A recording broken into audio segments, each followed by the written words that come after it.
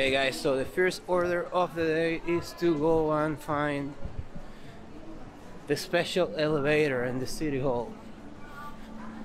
And you guys are gonna see how amazing it is. Okay, I think we have found the the city hall built in 1945. Yeah, it's right here. It's one of these buildings. If it's not this one, it should be that that one there. And that's where the secret elevator is. I only seen this in videos, but I think we are in the right track. 100% sure we're about to find it. You know, you don't know what, what it's coming. It's amazing. You guys are gonna see it. Okay, so you guys know there is only four elevators like this in all of Prague, and I never seen anything like this in my life. I'm about to jump in. See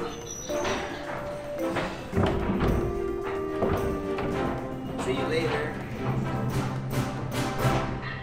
Goodbye, cruel world. This is the bottom of the elevator, okay? Oh my god. Oh my god. Holy shit. Look at this amazing wheel here. it's pretty scary.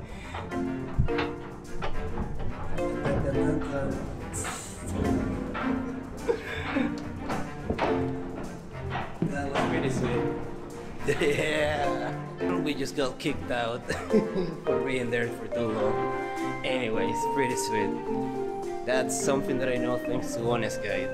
Guys, now all of you know that if you come here to the city hall here in Old Town, you're gonna find a cute elevator. This is how the building looks. Just come here when you visit Prague. but don't be there too late because they're gonna kick you out.